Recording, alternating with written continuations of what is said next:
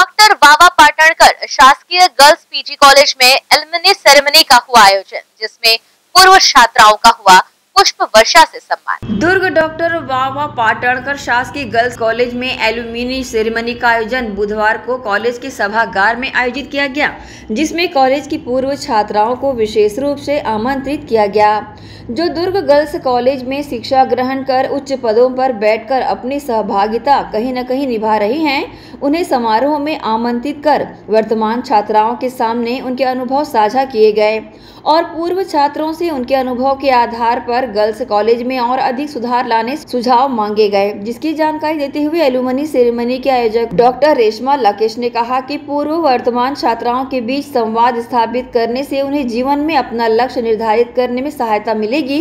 इसी कड़ी में कार्यक्रम में पूर्व छात्राओं ने वर्तमान छात्राओं से मिलकर कार्यक्रम की शोभा बढ़ाई। इसके साथ ही सांस्कृतिक कार्यक्रम का आयोजन भी झूम कर किया गया।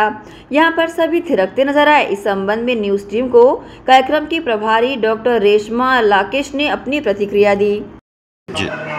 ये एक भूतपूर्व छात्राओं के लिए एलुमनी मीट आयोजित किया गया हर वर्ष हम लोग करते हैं। जिसमें हमारे महाविद्यालय से जो निकली हुई छात्राएँ हैं उनको बुलाया जाता है और हम लोग उन रणनीतियों को तैयार करते हैं जिससे कि हमारे किस प्रकार के सहयोग से हम कॉलेज के विकास के लिए कार्य कर सकते हैं।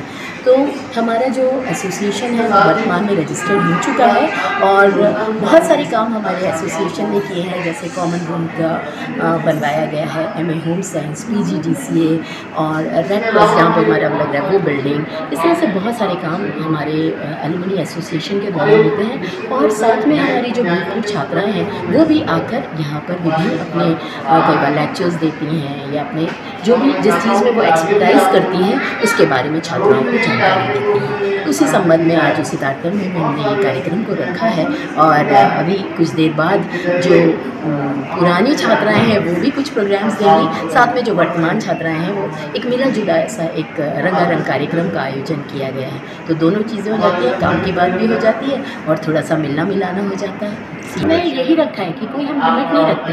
कितने भी पुराने, जैसे मैं हूँ बहुत पुरानी स्टूडेंट हूँ इस कॉलेज की और लकीली मैं यहीं पर पोस्टेड हूँ। तो मुझे यहाँ का एक कड़ी बनाया गया है कि दोनों के बीच की तो हम पुराने स्टूडेंट्स को बुलाते हैं और नए स्टूडेंट्स को भी, ताकि जो नए स्टूडेंट्स हैं वो जाने कि उनकी आगे चल के क्या रिस्पॉन्सिबिलिटी है अपने कॉलेज के प्रति। तो ये एक उद्देश्य भी रहता है कि उनको जानकारी दी जाए। जी।